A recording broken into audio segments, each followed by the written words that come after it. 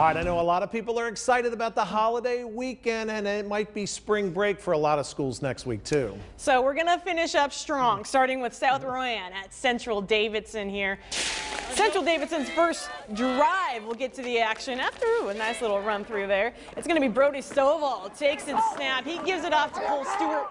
Blocking and hard running. That's going to get Central nice yards first down. A few plays later, Stovall gives it to Stewart once again. He's going to pop out of the gap, and he's coming straight at us.